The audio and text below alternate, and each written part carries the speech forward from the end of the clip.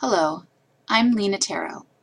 In this video, I'll be showing you how to construct a confidence interval for the slope of a population regression line on the TI-89. We'll be using data that's found in Chapter 12, Section 1 of the Practice of Statistics. We have data from 16 used Ford F-150 Super Crew 4x4s. We have miles driven and price in dollars for each vehicle. To begin, go to Stat List Editor and hit Enter. In list 1, we'll be entering the miles driven, and in list 2, we'll be entering the price in dollars. Now that the data is entered, we're ready to find our confidence interval for our slope.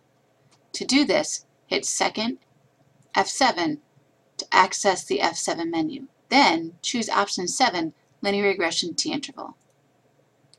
We need to tell the calculator where we've stored our x values and our y values. Our x list is in list 1.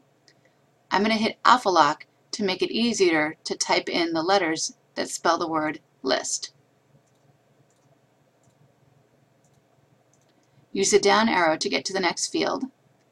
Once again, alpha lock to type in the letters that spell the word list.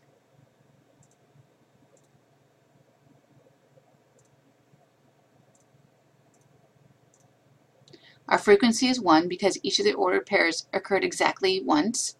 We're going to store the regression equation in y1 in case we want to access this equation later for making predictions. And we're doing a confidence interval for slope. For confidence level, we'll say 90% confidence. We'll hit enter.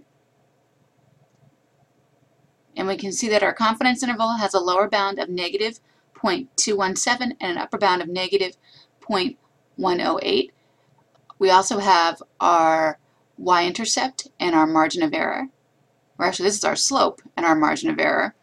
We can say that we are 90% confident that the true slope of the regression line is between negative 0.217 and negative 0.108, meaning that the price in dollars goes down by between 21 or 22 and 11 cents on average per each additional mile driven.